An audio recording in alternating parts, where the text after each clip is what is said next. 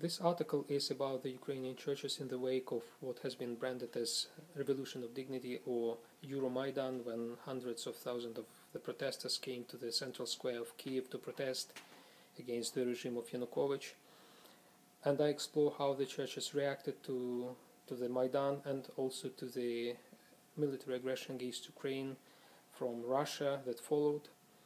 um, my basic hermeneutical key is the traditional Eastern Christian concept of symphony or harmony of the church with the state, and I argue that uh, the Ukrainian churches, uh, because of the Maidan, departed from the traditional Eastern Christian concept of symphony as special relationship of the church with the state, and arrived, each one with its own pace, to